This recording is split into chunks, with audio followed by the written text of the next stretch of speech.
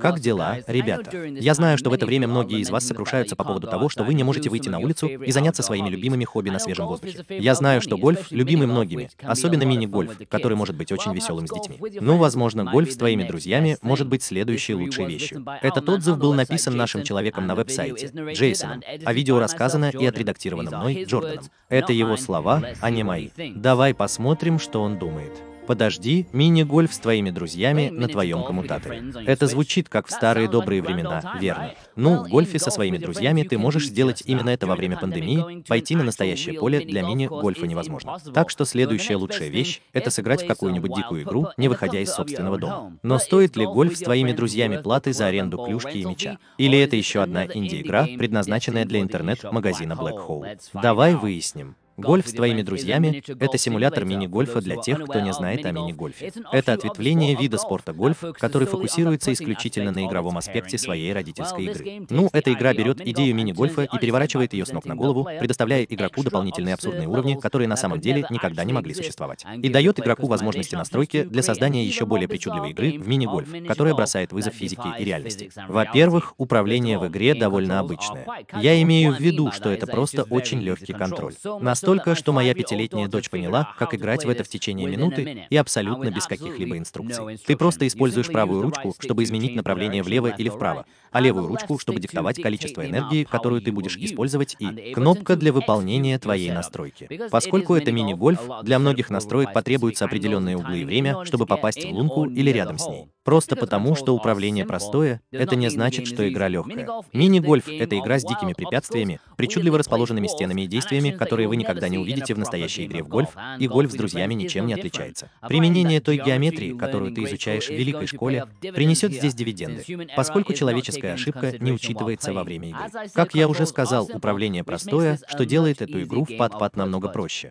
Но это не ваша обычная игра в пад-пад. У нас здесь есть целый ряд диких сцен, начиная от относительно обычных полей для мини-гольфа и заканчивая полными полями сражений. Все разные курсы тоже очень увлекательны и дают совершенно разные впечатления. Конечно, некоторые из наиболее причудливых этапов могут показаться немного безумными и могут быть немного непредсказуемыми, но они все равно забавные игроки, которые являются экспертами. Ты легко станешь жертвой плохого ГЩ, который даже на игровых полях тебе в какой-то степени знаком, но есть некоторые дыры, которые требуют много игрока, и это те, в которых я был очень разочарован. Одно дело — обвести свой мяч вокруг ряда поворотов и прыжков.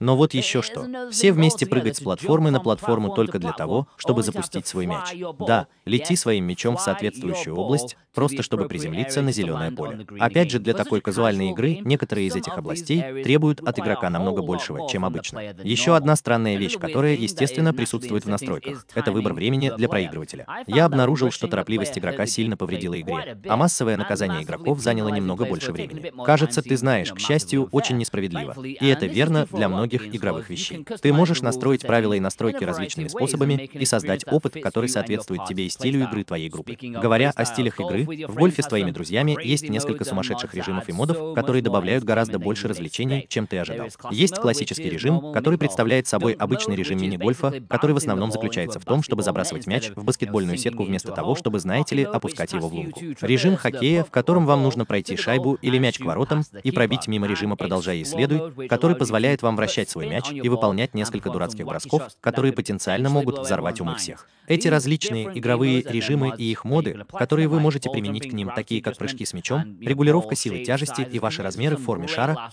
могут вызвать большой смех между регулярными сессиями. И поскольку в названии этой игры буквально есть с вашими друзьями, вам следует знать, что вы действительно можете играть со своими друзьями. До 12 человек могут играть как онлайн, так и офлайн.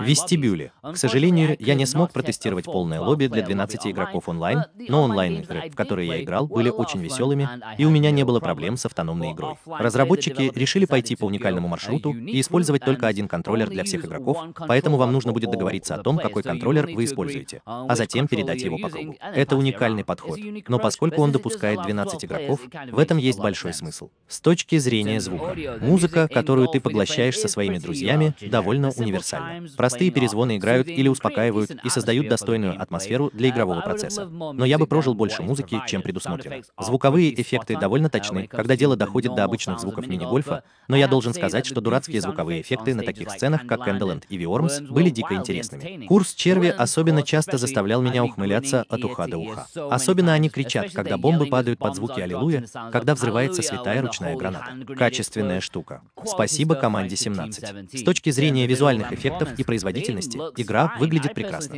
Я лично считаю, что художественный стиль слишком общий для большинства курсов, но когда дело доходит до подобных игр, я, честно говоря, не ожидаю слишком многого в отношении визуальных эффектов. Однако курс червей потрясающий. Ты можешь сказать, что они вкладывают в это гораздо больше любви и внимания, чем в любые другие курсы в игре. Но в этом есть смысл. Черви, ты же знаешь, что это 17-летняя команда, детка, и они всегда отдают должное бренду. Физика временами немного странная, особенно когда взаимодействуешь с вещами, выходящими за рамки дозволенного. Некоторые лунки требуют, чтобы ты отскакивал от мяча, что технически является нашим отскоком, но ты знаешь, кажется, что некоторые из этих объектов подчиняются иным законам, чем стены на поле. Я также испытывал большую медленную загрузку текстур, даже после длительных загрузочных экранов до этого. Это вообще не влияет на игровой процесс, но это заметно и довольно уродливо, когда он сидит так в течение нескольких секунд. С точки зрения стоимости, гольф с твоими друзьями обойдется тебе в 1999 долларов США.